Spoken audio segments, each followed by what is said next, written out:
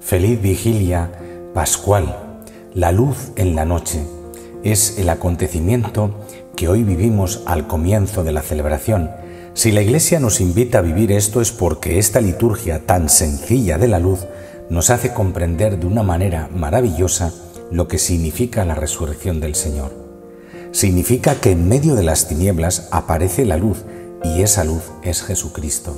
Es Cristo vivo, es Cristo resucitado porque ha disipado las tinieblas de la muerte, el último de los enemigos del hombre y el fundamental, porque si no somos salvados de la muerte, no somos salvados. Y de la misma manera que vemos gracias a esa luz, podemos ver en medio de las tinieblas.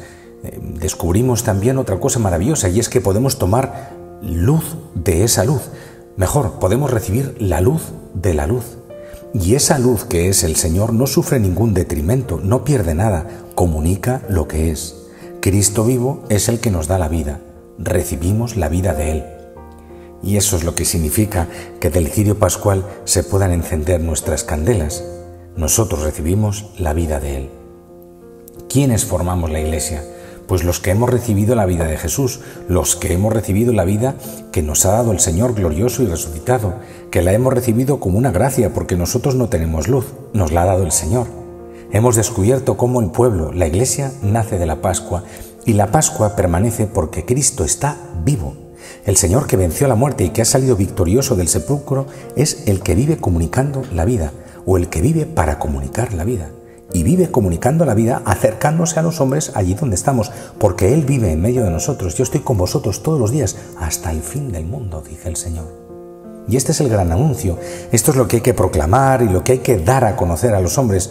Por eso lo que Dios hace va unido a la palabra que lo proclama, que lo interpreta, que lo da a conocer, que nos hace descubrir el sentido de las obras maravillosas de Dios. ¿Por qué existimos? Porque hemos sido creados.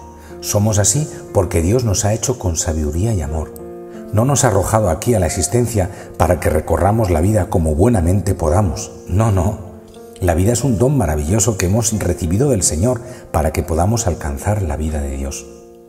Por eso, a las obras que Dios hace, a esa vida que ha entrado en el mundo y que se comunica, viene el don de la palabra que hace proclamar por todos lados que Dios ama al hombre Dios se ha unido con el hombre para siempre. Dios mismo es hombre para siempre y ha resucitado. Ha vencido todos los males y es el Señor victorioso que nos comunica la vida. Por eso a la luz que ha entrado en las tinieblas va unida la palabra que lo anuncia, que lo proclama, que lo pregona con el grito del amor, de la victoria, del gozo y de la alegría inenarrable. Por eso en esta noche la liturgia de la palabra tiene esa importancia tan grave, tan fundamental. Esto va unido a los sacramentos, claro que sí, donde Cristo vivo, ahora en medio del mundo, se acerca a nosotros en la sencillez de unos signos que Él ha elegido. Cristo vivo y glorioso, pero escondido a nuestra mirada, se hace visible y accesible a nuestros sentidos porque a través de los sacramentos podemos tocar a Dios. A través de los sacramentos el Señor vivo y glorioso nos comunica la vida. Ante todo el sacramento del bautismo en el que un día recibimos la vida del Señor si hubiera eh, catecúmenos, celebraríamos, ¿verdad?, en, la parroquia o en la iglesia, el momento donde en medio de la vigilia Jesús, aquí y ahora, comunicaría la vida a un hermano o a una hermana nuestra.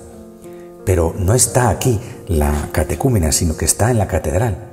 Lo que sí tenemos es el gozo, los que estamos aquí, de renovar las promesas de nuestro bautismo y de recibir de nuevo la aspersión del agua bendita que nos recuerda ese momento donde fuimos engendrados a la vida de Dios. Hoy además mm, llegamos al momento culminante de la liturgia de esa vigilia pascual, que es el encuentro con Cristo vivo en la Eucaristía, donde el Señor se sacrifica en medio de nosotros, donde Él se entrega totalmente. Cristo vivo se nos ofrece y se nos da en comunión para que ese Señor que está vivo podamos recibirlo y podamos llegar a ser una sola cosa con Él. Si Cristo ha resucitado, tenemos que ser los hombres y mujeres más alegres del mundo, no unos muermos, porque tenemos al Señor junto a nosotros. El Señor lo ha vencido todo y nos acompaña siempre en nuestra vida.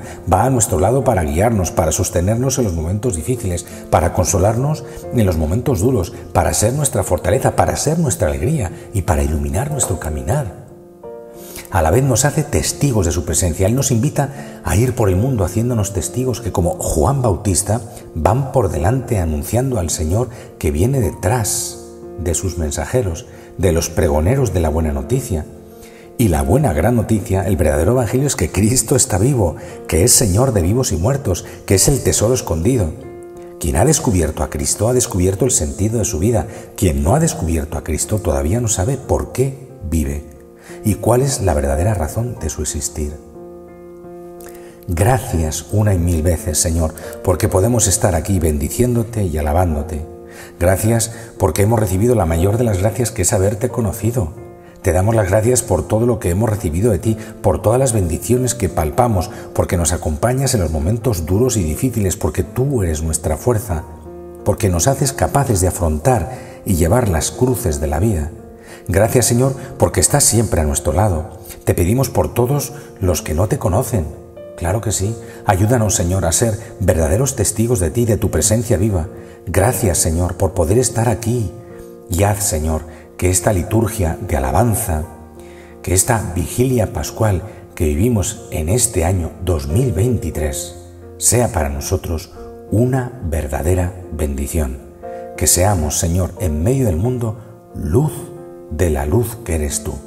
Amén.